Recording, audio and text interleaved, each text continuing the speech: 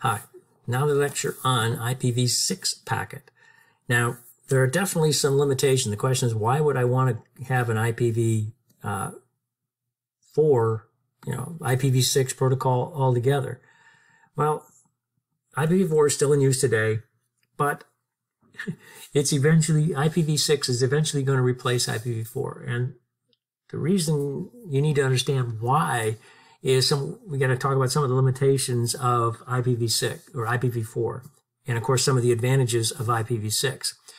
Now, IPv4 address, uh, the number of available public addresses has been it was limited to about 4 billion and they have all been used assigned to outside devices so that caused some problems when we start thinking they're going to run out of addresses.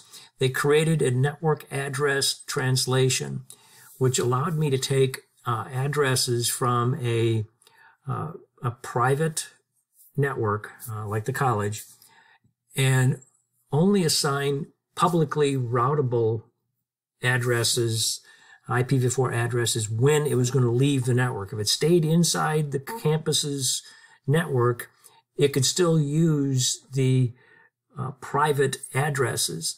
Uh, and then when it has to hit the router, then it has to change it to a public address. And this changing from private to public is what the network address translation protocol does. Um, so this net gives me, it ex definitely extended the life of IPv4.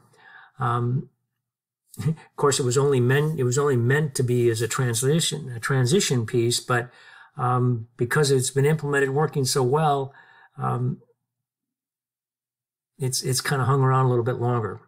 Now, having this you know network address translation does sometimes cause troubleshooting of addresses a little bit more complicated, only because you're trying to figure out is it an internal, is it an external address?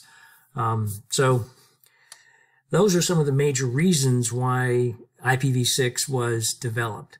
Now, back in the early 90s, uh, the you know Internet Engineering Task Force, uh, because they were concerned with this uh, IP4 being you know running out of space, they actually says I need to come up with something different. Well, they came up with IPv6, and some of the major improvements were increased address size. Instead of having a 32-bit address, now it's a 128-bit address. So it is a larger address, allows for more uh, addresses. Uh, you know, they got a number down the floor from a little over 4 billion to, you know, some 340 unidecillion addresses. Uh, Okay, there's a we got an IP address for every grain of, grain of sand on the United States or on the Earth. Um, so uh, we have plenty of addresses. If you look at the the basic size here, uh, one billion is ten to the ninth. We've got four billion. Well, we now have ten to the thirty-six. So you have a lot more addresses to come into play.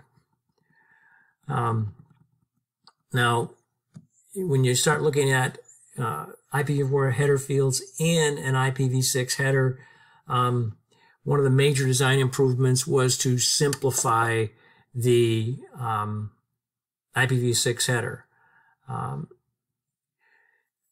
so, you know, look, we've talked about the IPv4 address, all this good stuff, but now when you look at the IPv6 header, it, it is very simple. Uh, it is version, traffic lights, a little bit of flow information. How big a packet am I, you know, am I sending? Uh, you know, a little bit of who's the next person in line and how long, you know, how many times can I move between different devices?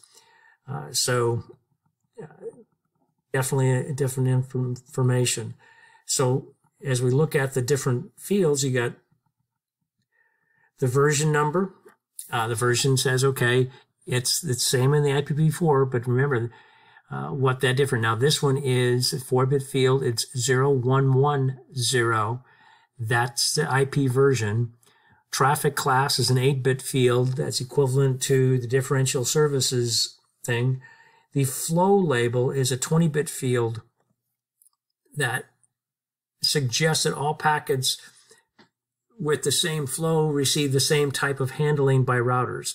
So it just kind of says, hey, these are all similar data, so we can move along the same same speed, same processing. The next header basically, oh, sorry, I missed the payload length. The payload length is a 16-bit field that says, hey, it's the length of the data portion, not the header, but the the data portion or the payload of the packet. Does not include any of the header information.